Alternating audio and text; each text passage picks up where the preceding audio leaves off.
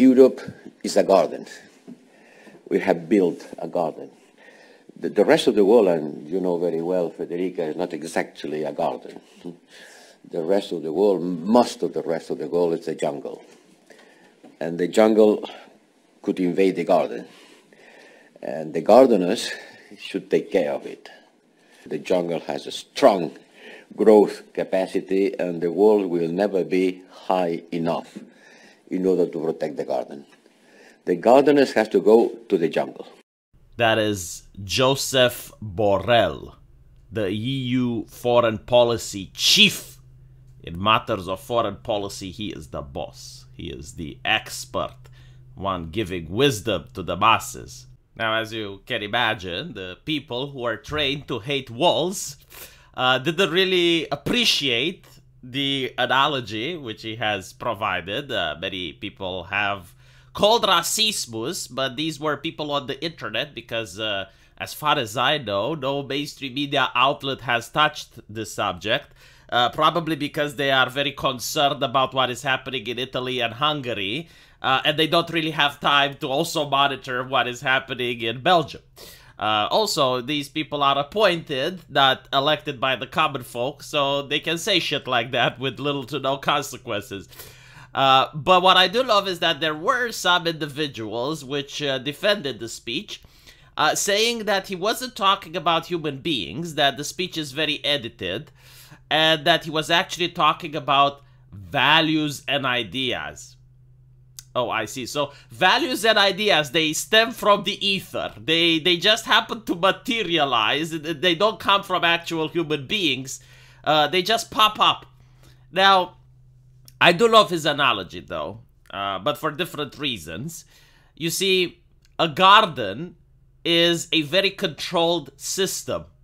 Uh, you have the gardener, which doesn't allow any liberty or freedom for plants and it's definitely not a system built on equality or democracy. Uh, the gardener obviously is not equal to the plants. The plants have absolutely no say in what the gardener does. If the gardener wants to root out a plant, he can do so. And what's more importantly, the function, the main purpose of a garden is aesthetic. It is not for the well-being of the flowers. It is not for uh, the benefit or anything else besides aesthetics. Uh, and comparing, you know, like the European Union with this very controlled, tyrannical system of values with the rest of the world, which has liberty and freedom, aka the jungle, I, I do find it uh, a very interesting take.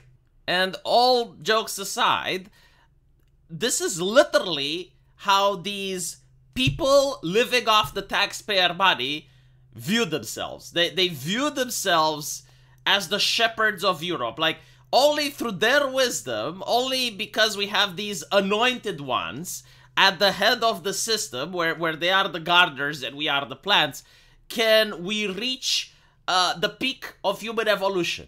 Like, they, they believe that evolution is not just genetic, but it's also social and cultural. And uh, there, there are, like, many ways where culture can go. No, it's like either forwards or backwards, and we can only go forwards if we pay more taxes and give more power to individuals such as this. So yes, I, I do enjoy the comparison, but for different reasons than why you may think. Uh, it is very apt. And again, when they're talking about Europe, they're not talking about the diversity of the continent. No, they are talking about the European Union institution. The gardener, the one that gets to cut the plants that grow too differently. Like, for example, when the elections don't go their way into Italy and, and they just start snipping a little bit. Oh, they don't like what's happening in Hungary. People didn't vote the proper way, so they start snipping there a little bit.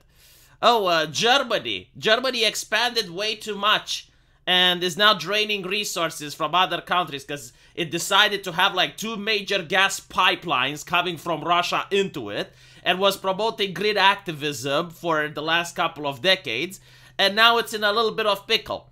Yes, but Germany is a beautiful flower. It's a magnificent flower. So uh, we need to put more water on it and take away water from the other countries, right? Like this is what they're talking about. This is the beautiful garden. where you're not allowed to have different cultures. Like you're not allowed to have like the Italian culture and uh, the Hungarian culture. No, we need homogeneity. We need we need the guidance of the European Union to also help people how to vote. I fucking got. By the way, uh, as I mentioned in a previous video, I do think that in Italy the prime minister lady won.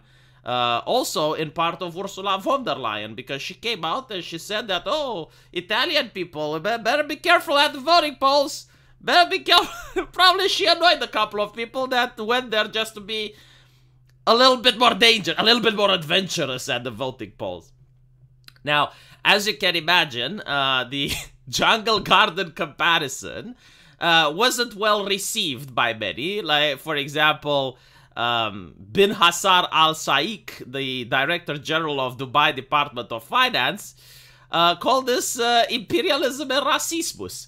I'm appalled that the EU Commission appointed a High Representative for Foreign Affairs and Security Policy, and I like to think imperialism is something of the past, and racismus isn't a value that the European Union fosters.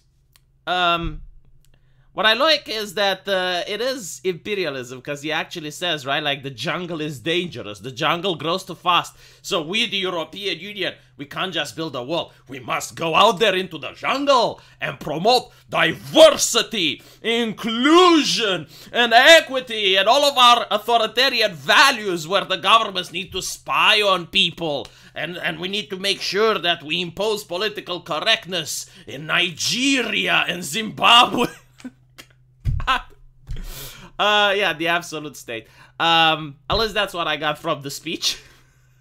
And Russia's foreign ministry also lashed out with the spokeswoman Maria Zarakova. I hope I'm not mispronouncing it. The garden was built by Europe due to the barbaric attitudes, to the plundering of the jungle.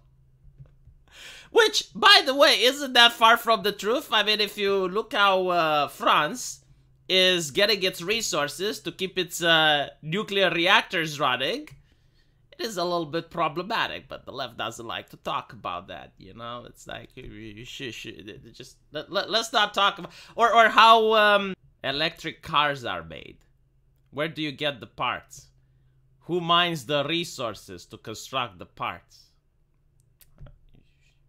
We don't, we don't talk about those, you know. Like just, just it's fine, it's fine. European Union, the guard. Oh my Uh, to be honest, not as racist as the recent controversy in LA with some of the people elected there. All right, like that. That is a little bit more racist. Than, so, so like the European Union is uh, a little bit forward on the anti-racism initiatives, but uh, still problematic. Let me know what you guys think, and I'll see you in the comment section. Take care.